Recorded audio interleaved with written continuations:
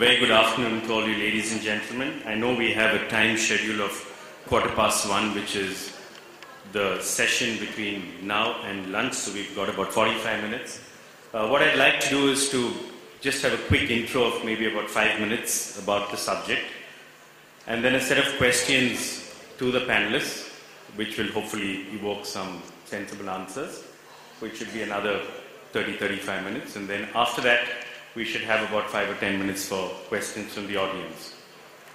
So, when you look at the, the subject of emerging consumer insights, you know, it seems like a bit of a conundrum because you, as we discussed earlier, in within amongst all of us, we couldn't figure out whether it was emerging market consumers or is it emerging consumers, or in the middle of all of this, are we going to be forgetting insights?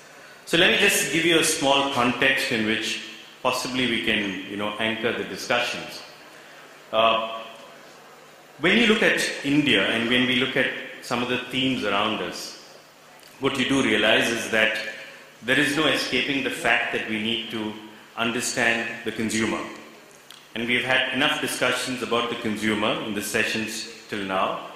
But what we clearly know is that there is a, let's say if I were to broadly define it, uh, less than 20 year old uh, technology savvy, digitally aware consumer. Then you have another segment which is between, say, 20 to about 35. Young professionals, first jobs, second jobs, and given the current loyalty to jobs, it might be even their 10th job by 10 to 35. Risk taking, wanting to do several things on their own, willing to set up e commerce platforms, e tailing ventures, new technology companies, and wanted to create another Infosys in less time than Infosys did. So that's another generation. Then you have those who are between, say, 35 and Nagesh would uh, also include, like to include himself, say till about 50, 55, uh, if you were to look at it. And that's a consumer segment which is kind of battling between two generations. On the one hand, they've got teenagers as their children, and on the other hand, they've got uh, old parents who are the grandparents to these teenagers. So they kind of try and balance between these two sets of generations and uh, try and lead a middle path, uh, obviously seeking the security of a job, not wanting to take too many risks, but yet on the other hand, reasonably well arrived in life by the time they retire. And then you have those who have retired, and that number in a country of 1.2 billion is not very small, even if you were to say that you know, it's only 11 or 12 percent of the population. And when you look at them, this is a generation where the, you know, they've all been part of, let's say, the middle class of the 70s and the 80s. Uh, children well settled, many of them working as IT engineers, uh, computer programmers in the United States or in Europe. Uh, spend maybe five, six months a year visiting the children and the grandchildren, uh, have a home of their own, live in the city where they originally are from or where they've spent most of their lives, quite comfortable in the social network that they have around. Couple this with, let's say, urban, rural, because we need to understand India is comprised of both. Couple this with, let's say, the rich and the poor. And what you do realize is that there is a diversity. And one of the things that we must understand is that there is no average Indian consumer. There is a diversity in the Indian consuming class, which as retailers and as marketers, we all need to understand. The second thing is about consumption. So if you look at consumption, uh, again, like there is no average Indian consumer, there is no average Indian food. So if you were to look at, let's say, the east of India, you might be having people who eat fish, but they only eat, let's say, bhetki. Whereas on the other hand, if you look at those who are in the west of India, the fish eaters there eat kingfish or seerfish, or if we go down to Kerala, meat. On the other hand, if you look at vegetables in the north, things like arbi are normally a rarity when you come down to the southern markets. So what you do realize, even the way, the kind of food that we eat is born out of the traditions that we were born into, plus also the socio-cultural context in which we live. So those who live far away from the sea tend to largely have a vegetarian diet. They, of course, they might be non-vegetarian uh, by behavior or faith otherwise, So there is, again, the, the, the complexity around consumption in terms of trying to understand what is the average Indian consumption pattern. So there is that. Then as we discussed earlier, and I think Sanjeev made that point uh, in his presentation, there are the strivers and the aspirers, because of which you have people who would love to consume but can't afford to, and there are those who can afford to and do consume.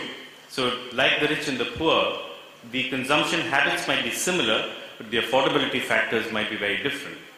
Third is in terms of communication. And I think when we look at the, the complexity and the diversity of the Indian consumer, plus when you add to that the complexity and the diversity of the Indian communication media, then that adds up to the entire thing. 690 registered television channels, 300 plus radio stations. Uh, television covers about 45% of our population. Press between newspapers and magazines cover about 28% of our population. Uh, you have radio which covers a little less. Then if you talk to the generation which is less than 20 years, obviously a lot of them are not even you know, tuning into radios, television, or reading newspapers, but they're all, you know, living with their fingertips on the internet, on their phones, communicating with their friends, largely through, through data rather than through voice. So then the complexity of addressing consumers, first identifying them, and then addressing them and figuring out what's the best way to address them, is another challenge which is there. Traditionally, we only used to have one way of buying products, and which was from stores. So when we looked at channels of sale, channels of sale largely meant you walked up to your neighborhood grocery store and bought, you what, and bought what you needed. Largely you would buy for the month, and then sometime during the course of the month you'd call them up and ask them to send you some groceries to top up. And that was one way of being able to actually transact. But what now has happened is that uh, we've got lots of upstarts in the e-tailing world. So while we might dismiss them as being collectively small, but when you really look at it, even if they're less than 1% of the total Indian retail market, it still means that they are almost 10 to 15% of the total modern retail market. And when you really look at the list of players within the Indian retail industry, within the top five, you already have an e-tailer. So what it does mean is that over time, a trend which is currently happening, a market which is, a channel which is actually growing quite rapidly, can certainly become a significant part of the Indian retail market. There are other newer channels like B2B, which has been started. So there are consumer B2Bs and there are B2Bs. So you have a Reliance market where even a consumer can walk into the card and buy. Whereas on the other hand, you can only have a registered retailer in the case of a Metro Cash and Carry, in addition to, of course, the stores.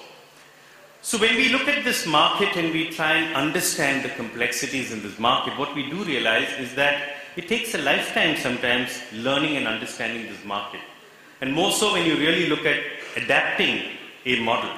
Sometimes it is a purely homegrown retail model that we've created. So somebody who started a business in India for India.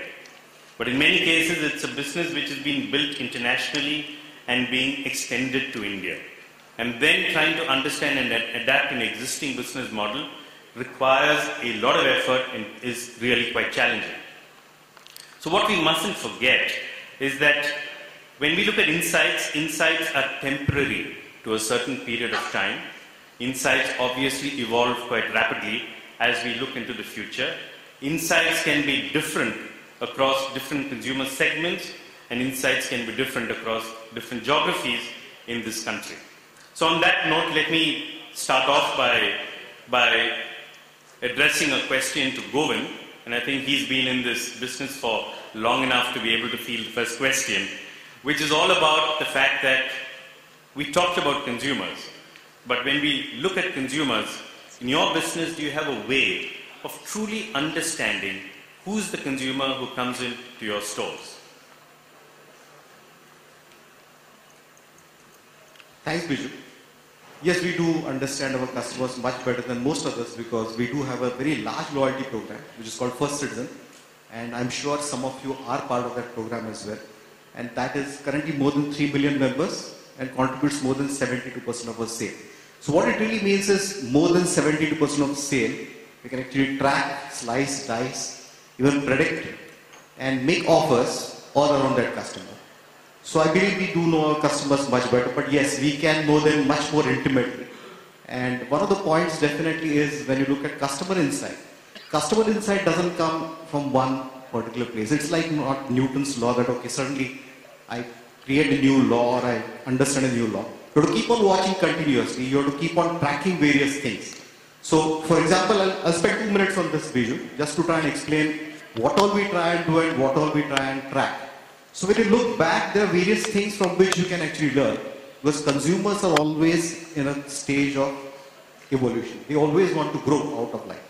So when you look back, for example, my favorites are basically films and books when I look at. So go back to the 70s, come to 80s and come to 90s. 70s was the angry young man Amitabh. 80s is the Bazigar who never wants to lose, but also brings in global fashion into the film, which is SRK. And 90s is the cool state. So when you look at these three icons and look at what's happening to fashion, you'll find out exactly what's happening. Look at books.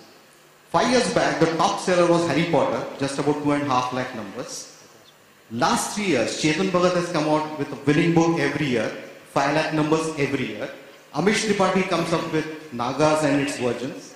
That sells about 2 lakh per version. And you have 50 Shades of Grey selling 1.1 lakh. Look at YRF movies. The most famous song of Waqt is O Meri Zohra Jabeen. And the most famous song of Dhoom 3 is Kamli Kamli. Now look at the kind of change that has happened in movies, kind of change that has happened in icons, and the way things have happened, and how does it get reflected in the store then? So sports brands have become fashionable, formal fashion brands have become sporty. Correct? Men's formal trousers have become flat front, and women's flat footwear has become platform. Just look at women's handbags. A lot of women here how many of the women here are carrying a kajal stick in their handbag? All of them. And if you look back in the last four years, every big brand of India has launched a kajal stick right from a 175 rupees to 1000 rupees and they're doing roaring business. Look at what's happened to lipsticks. Lipsticks have moved from crayons to pop tints. Again, every single brand has launched various shades of color. So I think we can look at our wardrobes, we can look at our girlfriends, wives, handbags, find out what's happening, and then actually come back. Apart from the data that we track of the first citizen, lots and lots of places where you can get inspiration from and convert it to product. So if you were to kind of underline that by saying that, you know, these are essentially the changes that I've seen, and you described it in terms of, you know, specific examples, what, what are those significant changes that you've seen? No, so it really means that the way you retail the merchandise has to also change. The kind of mix that you carry. So, for example, 2001 when I joined Shoppers, we were a 75% apparel company and only 25% non-apparel. Today we are a 60-40.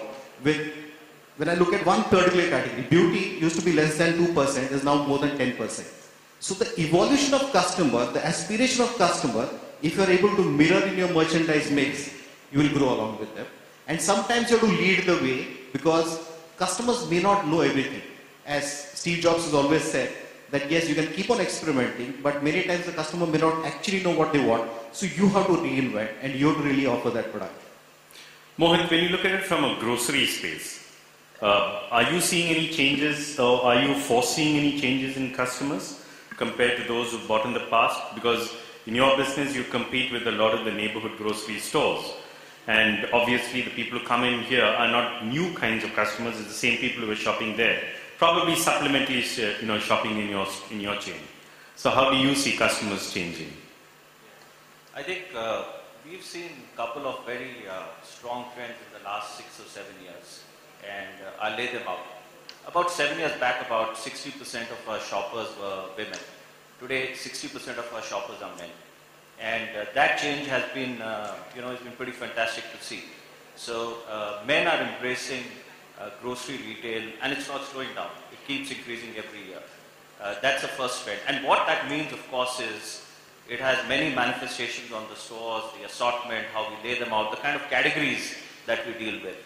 Uh, so for instance, one of the categories that we are fairly strong on is liquor. and uh, it's in fact one of our fastest growing uh, categories. Uh, and I don't think that trend will slow down. I think it'll only get stronger. The other trend which we've seen, which has been pretty fascinating, both in food but a lot more in personal care, in beauty, is premiumization. And you know, about four years back, the most expensive single unit of skincare we would carry would be about 500 rupees, and we would really hesitate to uh, carry any SKU uh, more expensive than that. Today, uh, 2000 plus is par for the course. In fact, our largest selling uh, range of skincare is all the SKUs are 2000 rupees by value. Uh, we see that same thing happening across a variety of beauty categories. Uh, it has slowed down in the last couple of months, but the trend remains strong.